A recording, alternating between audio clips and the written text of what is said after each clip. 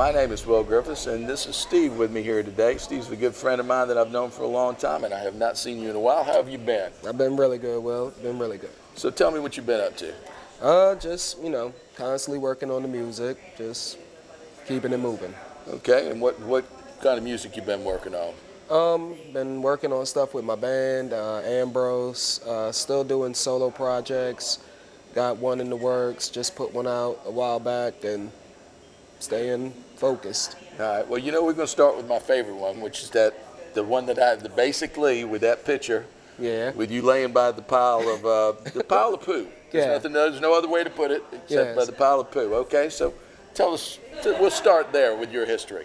Uh, that was the first CD I put out through Dope Sandwich. It was called um, A Bunch of Crazy Shit. Is it is it even an album? Is it just a mixtape? No, it's just a mixtape, man. Son you of a bitch. I'm leaving. Like boom, taking it back to 93 to show you what hip hop was designed to be. Giving you the ears to listen eyes to see so you can recognize hip hop at a high degree. People up in the crowd like finally your rhyme that combines lines to define to see your mind at your time the right lines consciously define the right signs to unite commonly.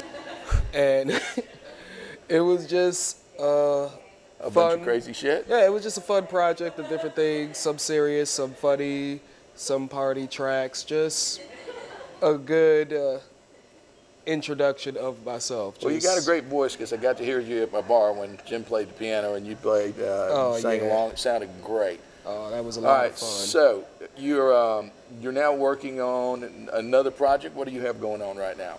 Um, well, the new newest project I got going on is called Seven, and that's through um, the new company that I'm working with called Drop Records, and it's I'm really excited about the project because it's like a concept album.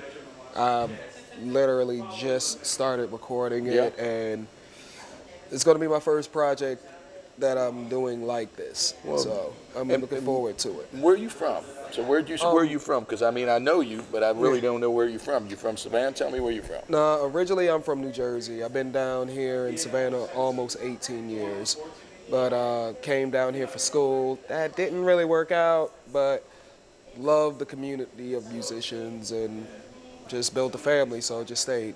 So that's why you stayed here, is because you really like the musicians in this town. Like, it's I've never been around this many, not just extremely talented and driven musicians, but really uh, like original, like raw, not trying to follow or copy anything. Like Gotcha. people who are really trying to make their mark by being who they are and are willing like the musicians have fought for years around here. I remember when most of the venues or venues didn't even have their own PA system but would Yep. want a whole band to bring everything and still pay them almost what they're paying them now or even Yep. less. So I loved seeing the family attitude of the artists here. Well, that's what the show's Yeah. about. See, because we're fighting to get everybody's music out there, and we're let, trying to let all the other musicians see who all the other musicians are. Okay. Yeah, exactly. So that's that's what we that's what we try to do. Yeah. And you have a wife, you have family, your dad beat you. Go ahead and us the whole story. No wife, no kids. I do have a girlfriend that I love right Very now. good. Um, besides that, um, I guess moved my mom down here a couple of years ago just Yeah. to get her out the cold. Like I was saying, tired of dealing with chickens who got the bird flu. Silly bitches chilling with kids who out past their curfew. Spitting shit just to sit and listen and they worth to. Waste important time to hear them talk about the grind that they using. Really just amusing it seems. Instead of wanting to rock, they choosing to lean. And this news project that you're working on, where do you where are you recording this new project? Um, that's in house. It's going to be partially me recording in different studios, um, just getting everything done. I know uh, the Ambrose project that I'm working on with my band, it's going to be recorded at New Coast Audio. But besides that, the project I'm working on now called Seven, I'm going to do most of the recording myself. All right. Now, a lot of people may not know what kind of music you play, so you describe to them what it is you do. Um, I do well. Most people know me for hip hop. Um, I also play acoustic guitar, solo singer, sing with my band, rap, DJ, break dance, lots of other stuff. Well, so, yeah, whatever it takes, huh? It's just all that's fun. Everything that's fun.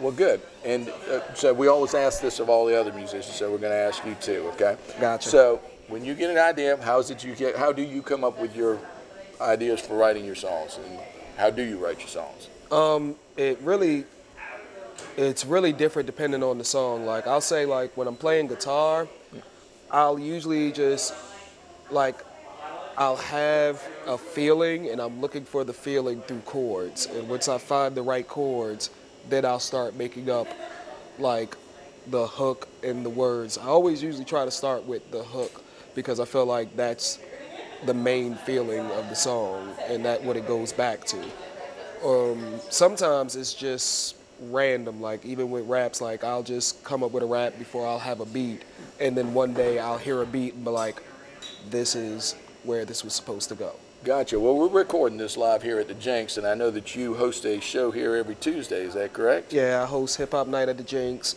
Been doing it for 12 years now, uh, off and on. It's been an experience. Just it's been a lot of good fun and just really seeing a lot of hip hop in Savannah. And what other musicians do you follow in this town? Where do you uh, Where do you like to play? Who do you like to go listen to when you do get a chance? Because it sounds like you're working like all the time. So where do you get to? Uh, where do you go to listen at? Um, I like going to a lot of the open mics. I'm usually here at the Jinx. Oops, sorry, I threw That's something. okay. I'm usually here at the Jinx just because um, it's the one spot where I get to see a lot of the local acts that I like just go all out. Yeah. Like um, right now, I'm really focusing more on the local hip hop acts Yeah. because And this I've building's always got a great sound too. Oh yeah. So um, yeah, I'll follow like the South Indies. I'll follow Clay, uh, Clay Hodges, um, the Indigos. Uh, it's like uh, you got uh, deep donation. It's a good amount of people doing work around here I gotcha. different crews. So it's fun watching them. Uh, there's another group, Cult Safe. Um, like I, I could go on and on. Like Well, so besides tonight's show that you have going on, um, tell us about some of your upcoming gigs and where you'll be playing. Um, I'll be playing actually January 6th. My band is playing. Um, they- we're having like a soul revival This show. is Ambrose, right? Yeah, this is Okay. Ambrose. We're going to be performing at El Rocko with uh, DJ Doc Ock, and it's going to be kind of a Soul Train themed night where trying to get people really into it. We're probably going to do more just funk and just have fun with it. And it sounds like fun. nice dressy night. Um, you can find me any, any, every Tuesday here. Sundays I'm at Boomies doing like old school hip hop and R&B, um, and then you'll literally I get booked all over the place. You'll see me sometimes at Social Club, sometimes you'll see me at El Rocko or Totally Awesome Bar or even Abe's. Well, who are the members of Ambrose? Because I, you know, I, you know, my buddy Jim Schaefer, of course, he played in there, and uh, Yeah. Derek played too. He played the drums there for a while, every once in a while. So, who are the current members of uh, Ambrose? Uh, Derek Derek Burgess, he's still the drummer. Is he still the drummer? Okay. He's still our drummer. Okay. He's still our drummer. Um, Greg Reddick plays bass and guitar and whatever we need because he does his thing. And uh, newly brung in member uh, Philip Reynolds Price. So he's going to be on keys. Um, we're just getting him in, so I got you. Okay. yeah, it's it's a lot of fun. We just did a show a couple of weeks ago at the Lucas, opening up for the New Breed Brass Band. It was a fundraiser for the Savannah Children's Choir. It was really fun. So And where can people find your music at? Because they're going to be wanting, Um, they're going to be looking for your songs. now, my everything that I've done up until now, you can find on DopeSandwich.com. Um, if not there, you'll be able to find it on basiklee.bandcamp.com. And then my band Ambrose has ambrosetheband.bandcamp.com. Well, fair But enough. yeah, um, the newer stuff will be coming out under uh, Drop Records, so I'll keep y'all up to date on that.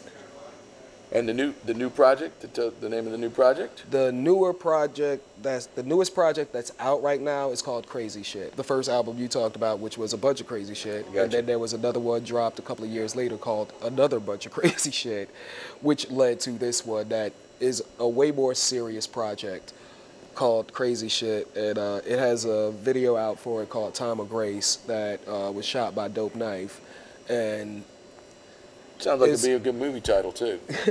Well, thank you. It was just a really, it is a collective of songs that I've done over the years that I, at times, just might have put away or just was like, eh, maybe that's not the right time for it. And I, like honestly, Dope Knife pushed me to be like, Gotcha. come on, man, let's do one more. And this came out like he I gave him the songs, let him take it in his hands, and we put this project together. And I'm really Yeah, proud. only, of I've only seen him perform once, and that was at uh, Zinzi's 2 that y'all Yeah. performed on a New Year's Eve, as a matter of fact. Yeah.